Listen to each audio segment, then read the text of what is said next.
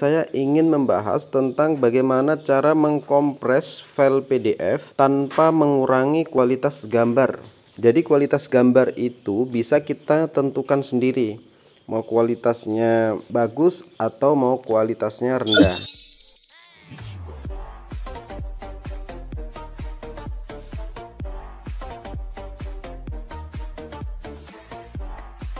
Assalamualaikum warahmatullahi wabarakatuh Selamat datang kembali di Trick Out Channel. Buat kalian yang baru menemukan channel ini, saya ucapkan selamat datang.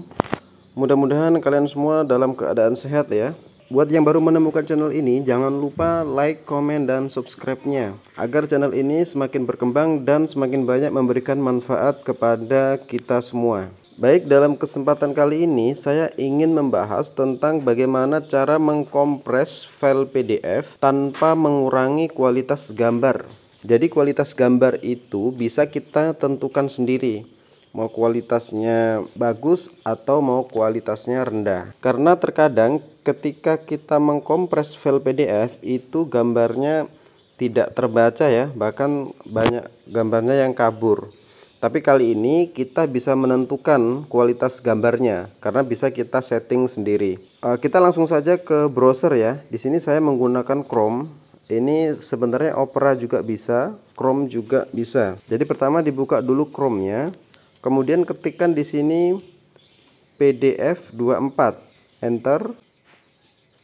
Nah, setelah enter, ini ada www.pdf24.org. Ini klik aja ya. Yang pertama ini bisa juga. Nah, di sini banyak sekali tool yang disediakan oleh website ini dan ini semua gratis ya tanpa dipungut biaya tanpa pendaftaran. Nah kita tadi mau kompres file PDF kita cari saja kompres PDF nah kita klik di sini kemudian kita pilih file ya. Tapi sebelumnya kita lihat dulu filenya. Nah saya punya file di file manager kemudian di dokumen di dalam folder BSPS nah ini ada file saya menggunakan file halaman ini ya. Jadi ada 1,26 MB nah file ini nanti saya kompres ya 1,26 MB ini kita lihat dulu isi filenya. Nah ini adalah file gambar ya. 1 2 3 sampai 8 halaman. Nah 7 8 jadi ada 8 halaman ya yang akan kita kompres dari 1,26 MB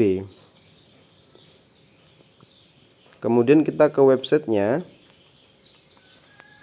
Kita pilih file. Kita cari file yang di dokumen tadi ya. Nah, kalau tampilan seperti ini klik yang di belakangnya ini. Di belakangnya tanda panah kecil ya. Kemudian kita cari documents. Kemudian BSPS Nah ini ada file halaman 1,26 MB kita klik yang ini. Ini proses upload ya. Ada 8 halaman 8 page di situ. Nah ini standarnya DPI ya. DPI atau dot per inch. Kemudian ada kualitas gambar. Itu 75 ya. Jadi DPI nya 144 Nah ini DPI bisa kita rubah ya. Tapi coba dulu kita rubah DPI nya menjadi 100 misalnya ya. Nah kualitas gambar kita kasih 80 Nah kemudian uh, kita klik kompres. Nah ini terkompres 54,85% ya. Jadi filenya itu menjadi tadi 1,26 menjadi 554,31 KB Ini bisa langsung kita unduh ya. Nah kita unduh Nah itu proses pengunduhan sudah selesai. Nah ini filenya yang sudah dikompres. Tidak terlalu berubah ya Tapi kual, uh, kapasitasnya sudah menurun menjadi lim, menurun 58% tadi ya. Nah ini file ini terletak di folder download. Nah kita lihat di unduhan ya. Nah ini halaman 57 567,61 KB Nah ini filenya ya. Sudah berhasil ya. Kelihatan sama ya dengan aslinya ya. Tentunya secara kualitas memang tetap berbeda. Tapi tidak terlalu jauh berbeda. Tapi kalau untuk tulisan aman ya. Tidak ada masalah untuk tulisan. Nah ini ya. Ini dari font 9 masih aman untuk dibaca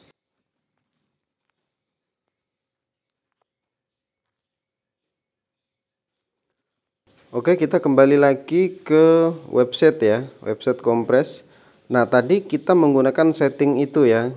Ini kita bisa menggunakan kualitas lebih rendah supaya kompresnya lebih kecil. Coba kita gunakan 72 ya. 72 ini memang standar teks. Kalau teks itu 72 itu sudah sedang ya. Dot per inch. 72 kemudian kualitas gambar ini jadi 75 kualitas gambar ini mengikuti biasanya ya karena hitungannya dot per inch. Jadi setiap satu inch persegi itu titiknya ada 72 titik. Ya semakin jarang titiknya gambarnya semakin pudar ya. Seperti gambar mini craft nah itu DPI nya kecil Nah kalau sudah kita coba tes ya dengan DPI 72 kualitas gambar 75 kita klik kompres. Ah, 71,69% jadi menjadi 347,55 KB kilobit ya dari MB tadi. Jadi uh, ukurannya dikurangi 71% ya mau 72% nah kemudian kita unduh nah ini download lagi. Karena tadi sudah terdownload ya. Nah jadi tulisannya halaman 2 download yang kedua. Nah ini filenya ya yang sudah dikompresi. Nah dia agak-agak ini ya. Berbeda ya tapi masih kelihatan bentuknya ya. Kalau untuk lamaran kerja ini masih bisa lah dipakai Nah, lagi-lagi file itu tersimpan di folder download ya. Nah, di sini kelebihannya aplikasi ini ketika kita merubah ukuran, kita tidak perlu mengupload ulang ya. Jadi cukup kita rubah settingannya, kemudian kita kompres, maka dia akan muncul beberapa ukuran di sini. Misalnya yang pertama tadi kualitasnya DPI 100 kualitas gambar 80, yang kedua DPI 72 kualitas gambar 75 kita bisa bandingkan misalnya kita buat tiga kompres ya, misalnya di sini kualitas gambarnya lebih rendah ya. Misalnya di sini 60 DPI 70 nah, kita kompres. Nah 76 76 persen ya Nah ini bisa kita email langsung atau ke Google Drive atau kita edit uh, file PDF-nya.